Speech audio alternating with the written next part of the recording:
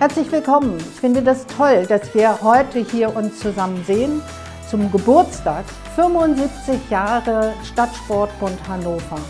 Wir, der Partner für den Vereinssport in Hannover, gestern, heute und morgen.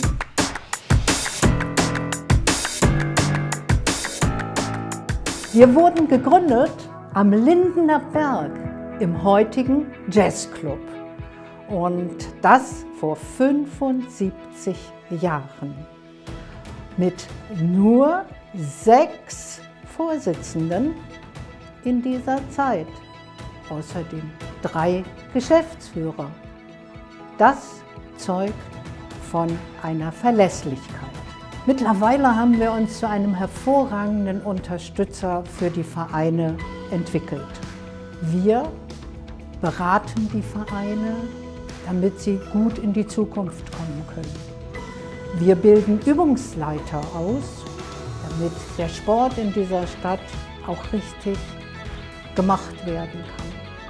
Und wir sind Kooperationspartner für die Ganztagsschulen. Das sind Dinge, die uns sehr am Herzen liegen, um den Sport in unserer Stadt voranzubringen. Die schwierige Zeit mit Corona hat uns so sehr motiviert, dass wir die digitalen Angebote für unsere Vereine ganz schnell ausgebaut haben. Und das hat allen sehr geholfen. Wir haben offene Fragen klären können und in Meetings das sehr gut verarbeitet. Die Vereine haben Sport in dieser Corona-Zeit ins Wohnzimmer gebracht. Ihre Mitglieder haben das dankend angenommen und wir finden es toll, dass die Mitglieder sich solidarisch mit ihren Vereinen erklärt haben. Wir sind begeistert über diesen starken Zusammenhalt und freuen uns auf die nächsten 75 Jahre Vereinssport.